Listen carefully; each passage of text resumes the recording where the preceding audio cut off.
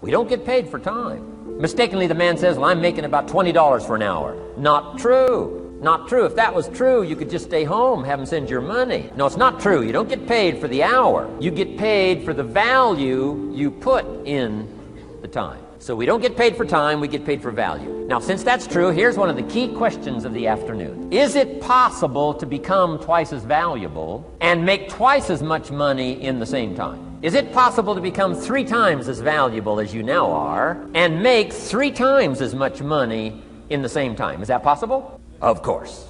Of course. All you have to do to earn more money in the same time is simply become more valuable. Top income last year, what, 52 million? Guy that runs Disney? Would a company pay somebody for one year's work $52 million? And the answer is, of course. If you help a company make a billion dollars, would they pay you 52 million? The answer is, of course. It's chicken feed. I mean, it's not much money. Now, why that much money? Because he has become so valuable. If you're not very valuable, you don't get much money.